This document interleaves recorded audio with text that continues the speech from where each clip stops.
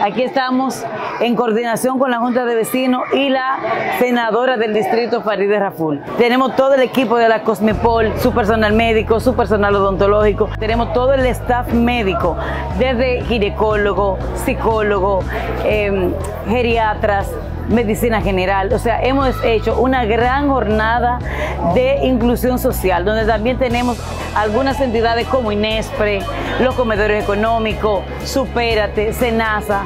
De verdad que los Praditos hoy ha sentido el gobierno cercano a la gente. Vamos a tener en la tarde de hoy también los bacheos y vamos a continuar identificando problemáticas puntuales para seguir haciendo lo que sabemos hacer y lo que es nuestro eslogan, un gobierno cercano a la gente. Ministerio de Obras Públicas y Comunicaciones, cercano a la gente.